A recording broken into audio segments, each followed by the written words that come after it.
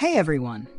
Let me tell you a heartwarming story from IU's HEREH World Tour concert in the Philippines that's got everyone talking.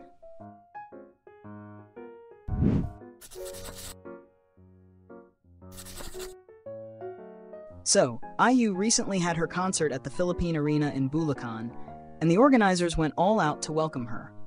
They decorated her waiting room with beautiful makeshift lilac flowers, a sweet nod to her song Lilac, which she also performed during the show. During the concert, IU brought one of those giant lilac flowers on stage, using it as a prop for her song Blooming. It was such a cute and memorable moment.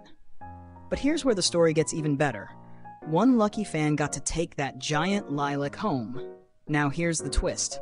The flower shop that made those lilacs later revealed that IU wasn't actually supposed to give it away. The flowers were only rented by the organizers. But when the shop found out what happened, they were totally cool about it. They even said, For IU and her fans, we can make an exception. How sweet is that? So not only did that fan get an incredible gift from IU herself, but it also turned into this adorable little story that shows just how much IU and her fans mean to each other. What do you think about IU's unexpected gift? Let me know in the comments below. Thanks for watching, and if you enjoyed this video, don't forget to subscribe, like, and share. See you next time!